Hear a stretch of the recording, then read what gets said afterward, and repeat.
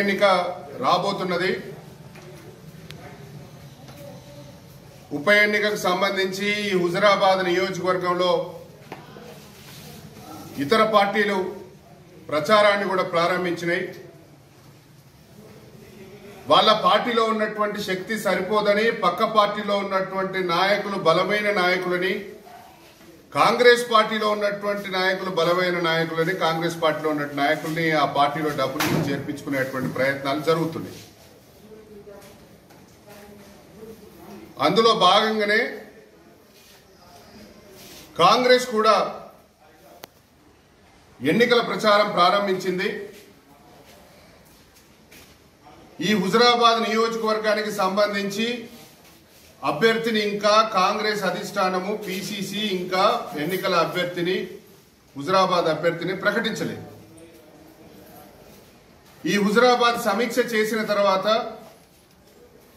పెద్దలు గౌరవనీయులు రేవంత్ రెడ్డి గారు బాధ్యతలు స్వీకరించిన తర్వాత తప్పకుండా హుజరాబాద్ నియోజకవర్గానికి సంబంధించినటువంటి సమీక్ష జరిపి ఇక్కడ అభ్యర్థిని నిర్ణయిస్తామని చెప్పి రేవంత్ రెడ్డి గారు చెప్పడం జరిగింది. మేము హైదరాబాద్లో తనకు శుభాకాంక్షలు కూడా తెలియజేయడం జరిగింది. ఇందులో భాగంగానే బీజేపీ టీఆర్ఎస్ ఇద్దరు అభ్యర్థులను ఎదుర్కోవడానికి హుజరాబాద్ ఉప ఎన్నికల్లో కాంగ్రెస్ గెలిపే లక్ష్యంగా పనిచేయడానికి ప్రజల యొక్క సమస్యలు తీసుకొని రైతుల యొక్క సమస్యలు తీసుకొని బీజేపీ నల్ల చట్టాలు తీసుకొచ్చి రైతాంగానికి ఏ రకంగా నష్టం చేసింది? టీఆర్ఎస్ ఇచ్చినటువంటి హామీలు నెరవేర్చకుండా డబుల్ బెడ్రూమ్లు అయితేంది నిరుద్యోగ భృతి అయితేంది దళితులకు మూడు ఎకరాల భూమి అయితేంది కేజీ టు పీజీ విద్య అయితేంది నిర్బంధ విద్య అయితేంది వీటన్నిటి సమస్యలను తీసుకొని ఐదో తారీఖున జమ్మికుంట గాంధీ చౌక్ నుండి హుజరాబాద్ ఆర్టీఓ కార్యాలయం వరకు వేల మందిగా పాదయాత్ర చేస్తూ ప్రజల పక్షాన ప్రజల సమస్యలు తీర్చట తీర్చాలని డిమాండ్ చేస్తూ పాదయాత్ర కిసాన్ కాంగ్రెస్ కాంగ్రెస్ ఆధ్వర్యంలో చేపట్టడం జరుగుతుంది.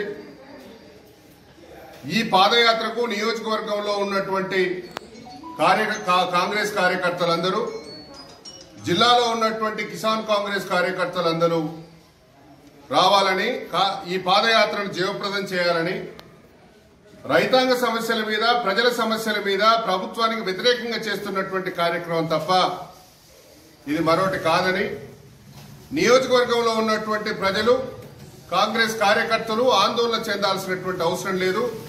ఈ రెండు ప్రభుత్వాలు ప్రభుత్వాలు ప్రజల్ని మోసం చేసినాయి తప్ప ప్రజలకు ఉపయోగపడేటువంటి పనులు చేయలేదు. గతంలో కాంగ్రెస్ ప్రభుత్వం కేంద్రంలో ఉన్నప్పుడు కానీ రాష్ట్రంలో ఉన్నప్పుడు కానీ చేసినటువంటి మంచి పనులు తప్ప సంక్షేమ పథకాలు తప్ప ఈ ప్రభుత్వాలు ప్రజలకు చేసింది ఏం లేదు. కరోనా వైద్యం పేరుతో లక్షల రూపాయలు ప్రజలు ప్రైవేటు వైద్యం కోసం కార్పొరేట్ ఆసుపత్రుల్లో బిల్లులు చెల్లిస్తుంటే ఓ పక్క హైకోర్టు మొట్టికాయలేసి ప్రజలు కట్టినటువంటి బిల్లులు వాపసు ఇవ్వమని ప్రభుత్వానికి చెప్పినా ప్రభుత్వం మొద్దు నిద్ర వీడట్లేదు. దున్నపోతు మీద వాడబడ్డట్టుంది. ఇవాళ పత్రికలకు విలువ లేదు.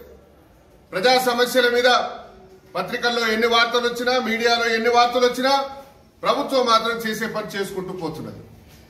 కాబట్టి ఈ ఉప ఎన్నిక హుజరాబాద్లో ప్రభుత్వం తీరుతెన్నుల మీద ప్రజా వ్యతిరేక విధానాల మీద ప్రచారం చేయటమే లక్ష్యంగా కాంగ్రెస్ పార్టీ పనిచేస్తుంది. మా సైనికులంతా పనిచేస్తున్నాం.